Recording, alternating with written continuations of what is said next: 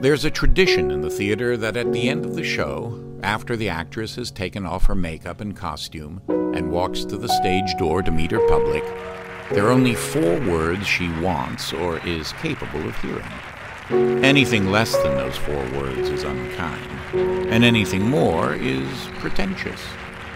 Those four words are Darling, you were fabulous. Marnie left Minnetonka High School with dreams and aspirations, many of which have been fulfilled. She became a professional actress. No small feat when you look at the odds of success. But more than that, Marnie took on the can do traits exhibited at home and at school and turned them into what she does best making lemons into lemonade.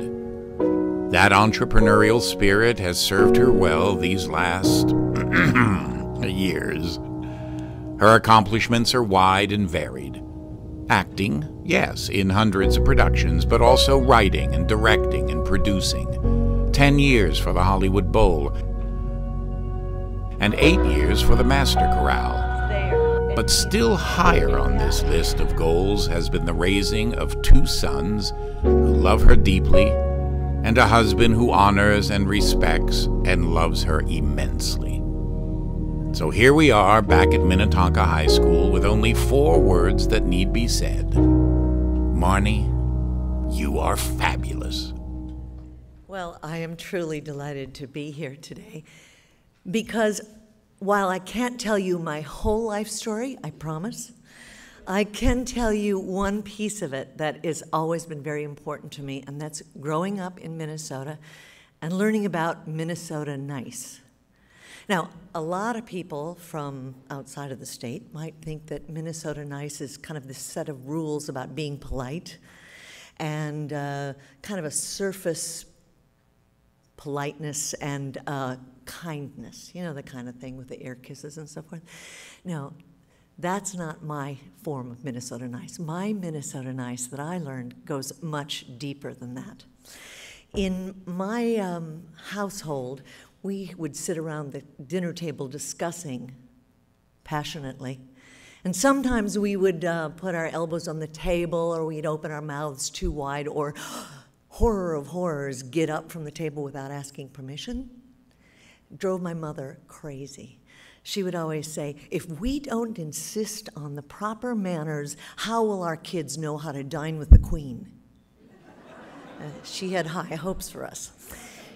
So they taught us, though, that beyond knowing the mere rules, if we remembered to be generous, considerate, and took the time to walk in the other guy's Minnetonka moccasins, we, um, we would always be able to dine with almost anyone, even when the rules, so to speak, weren't that clear. So I never really did dine with the Queen although I've dined with some people who thought they were. And um, my Minnesota nice has stood me in pretty good stead almost all over, where, all over the world, wherever I've gone.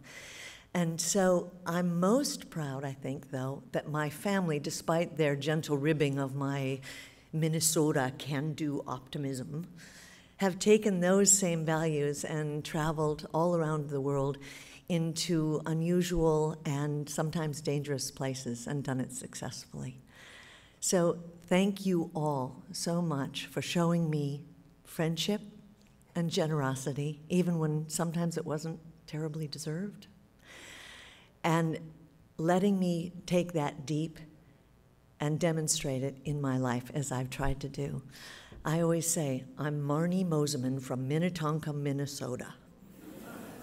And that Minnesota piece is something that's a very important center. Thank you so much.